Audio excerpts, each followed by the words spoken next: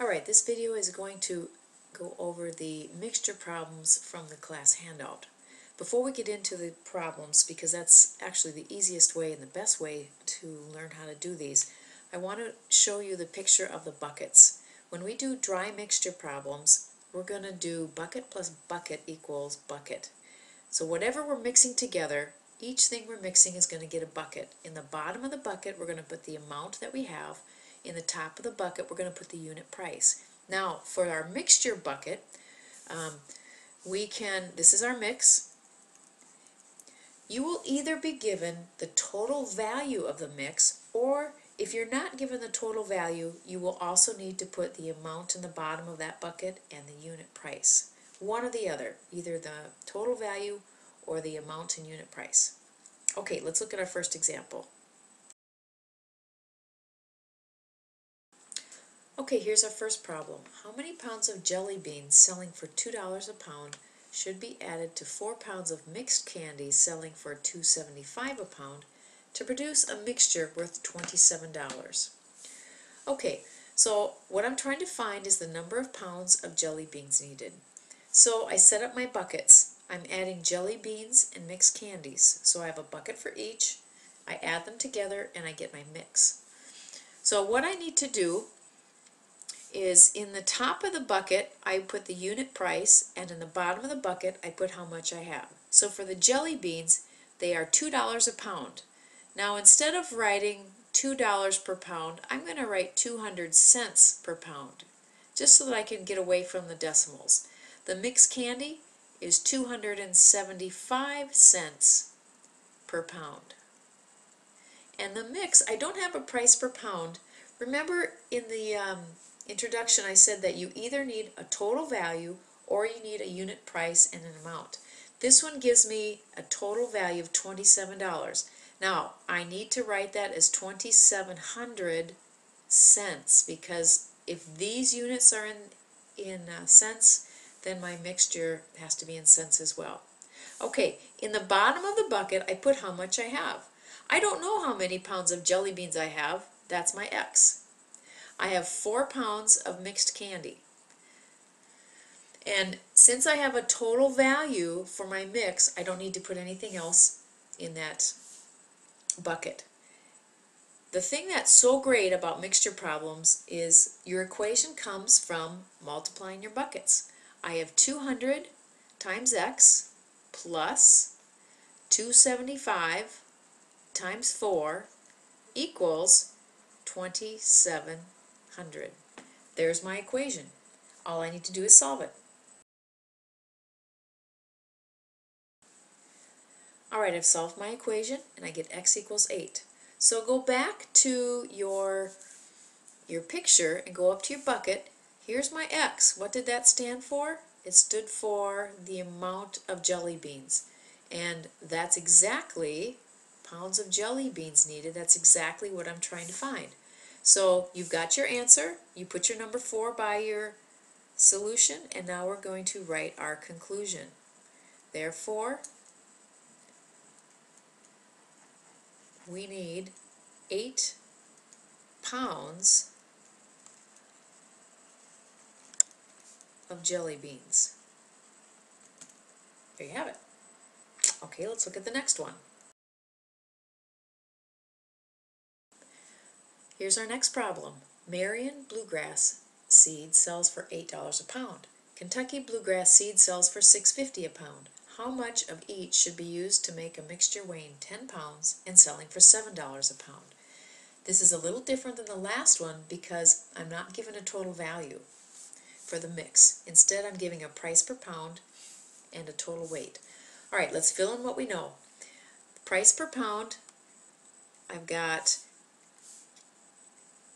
800 cents per pound here. I've got 650 cents per pound here. And my mix is $7 per pound. That's 700 cents per pound.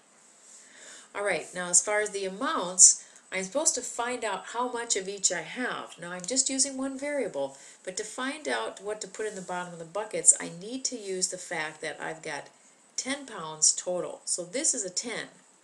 If you have two numbers that add up to 10, you let one of them be x and the other is 10 minus x. Now if you add x and 10 minus x, you should get 10, which we do. So now my equation is relatively simple. I need to multiply my buckets.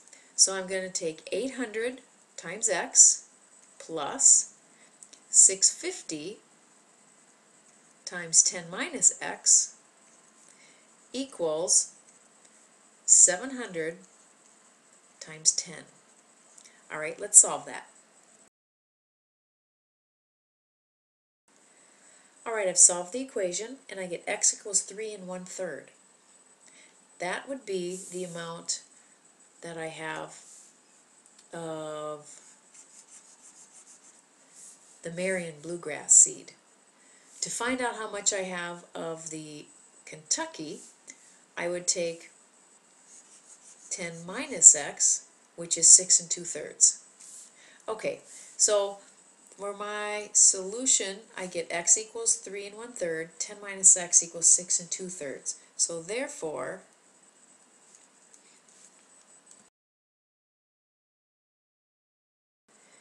we need 3 and 1 thirds pounds of Marion bluegrass seed and 6 and 2 thirds pounds of Kentucky bluegrass seed. Here's our third problem. Mr. Ling has 5 pounds of nuts that sell for $3 a pound. How many pounds of nuts that sell for $4 a pound must be added to have a mixture that sells for $5 a pound? Okay, I've drawn my three buckets, I've written my find statement, and now I'm ready to fill in my buckets. So this, I have a $3 a pound, so I'm going to write 300 cents per pound.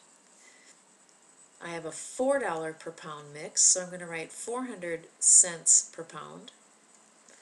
And then I have a mix that sells for 350 per pound, so I'm going to write 350 cents per pound. All right, now it says how many pounds of nuts that sell for $4 a pound. That's what we're trying to find, so put your X there. Must be added to have a mixture that sells for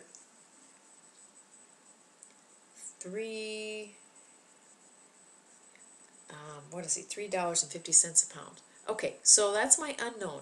I do know that there are five pounds of the nuts that sell for 300 cents a pound. So this is a 5. Now if I look at what I have here, I have 5 plus x equals, this should be 5 plus x. That's how much I have of the mix. Just look at what you have in the bottom of your buckets. Alright, for my equation, I'm going to multiply the buckets. 300 times 5 plus 400 times x equals 350 times the quantity, 5 plus x, and let's solve it. Okay, you can see that I've solved the equation. We get x equals 5. x equals 5. Here's x. That stands for the amount of $4 per pound nuts. That's what I'm trying to find, number of four, number of pounds of $4 nuts to add. So I can go ahead and write my conclusion. Therefore, he needs five pounds of the $4 nuts.